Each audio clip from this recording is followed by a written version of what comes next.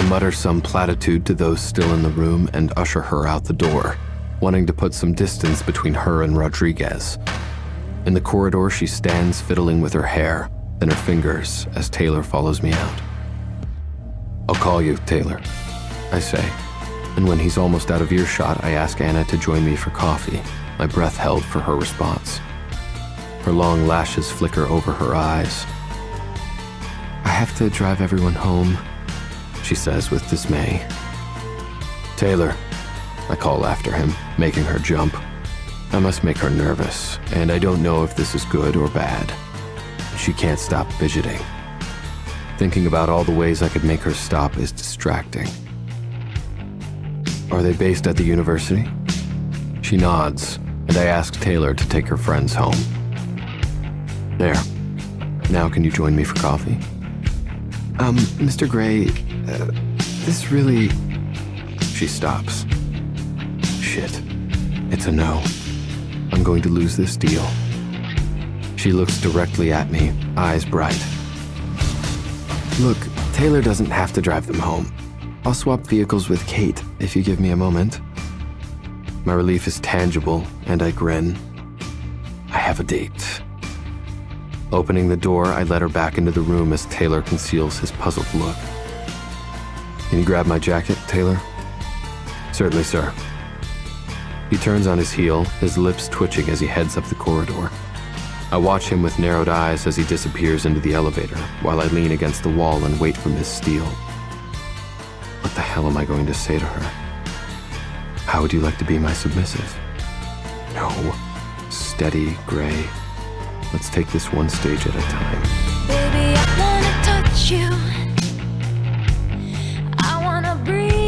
into your well. See, I gotta hunt you. I gotta bring you to my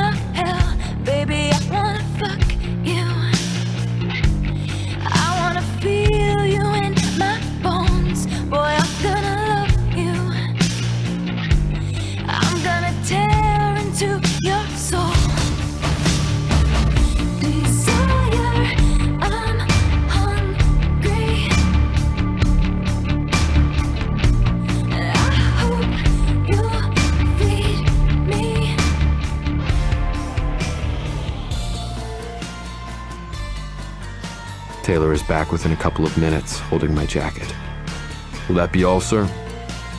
Yes, thanks. He gives it to me and leaves me standing like an idiot in the corridor. How long is Anastasia going to be? I check my watch. She must be negotiating the car swap with Katherine.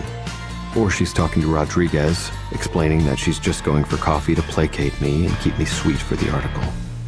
My thoughts darken. Maybe she's kissing him goodbye. Damn. She emerges a moment later, and I'm pleased. She doesn't look like she's just been kissed. Okay, she says with resolve. Let's do coffee.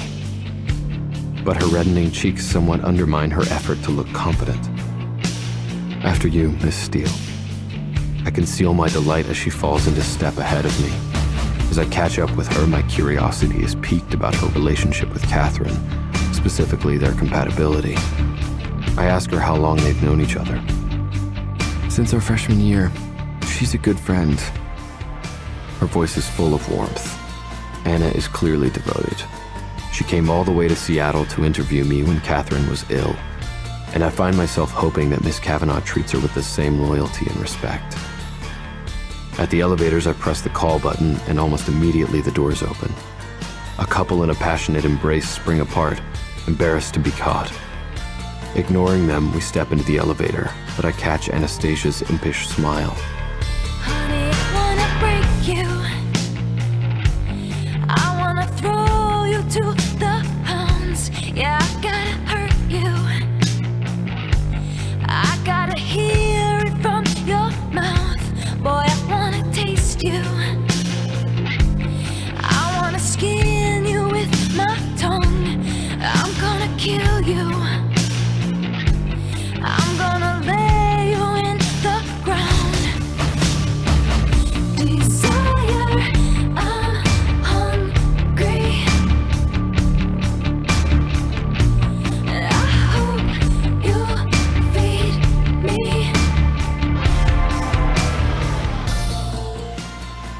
travel to the first floor, the atmosphere is thick with unfulfilled desire. And I don't know if it's emanating from the couple behind us or from me. Yes, I want her. Will she want what I have to offer? I'm relieved when the doors open again and I take her hand, which is cool and not clammy as expected. Perhaps I don't affect her as much as I'd like. The thought is disheartening. In our wake, we hear embarrassed giggling from the couple. What is it about elevators? I mutter. And I have to admit there's something wholesome and naive about their giggling that's totally charming. Miss Steele seems that innocent, just like them.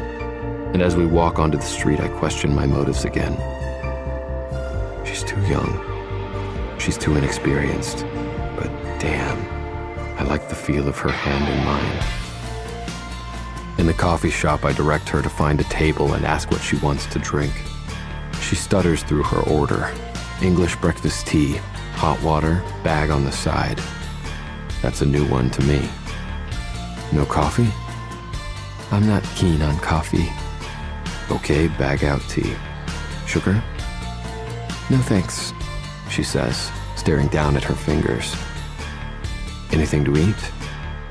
No thank you. She shakes her head and tosses her hair over her shoulder, highlighting glints of auburn. I have to wait in line while the two matronly women behind the counter exchange inane pleasantries with all their customers. It's frustrating and keeping me from my objective. Anastasia. Hey, handsome, what can I get you? The older woman asks with a twinkle in her eye. It's just a pretty face, sweetheart. I'll have a coffee with steamed milk, English breakfast tea, tea bag on the side, and a blueberry muffin. Anastasia might change her mind and eat. You visiting Portland? Yes. The weekend? Yes. The weather sure has picked up today. Yes. I hope you get out to enjoy some sunshine. Please stop talking to me and hurry the fuck up. Yes. I hiss through my teeth and glance over at Ana, who quickly looks away. She's watching me. Is she checking me out? A bubble of hope swells in my chest. There you go. The woman winks and places the drinks on my tray. Pay at the register, honey, and you have a nice day now. I manage a cordial response. Thank you.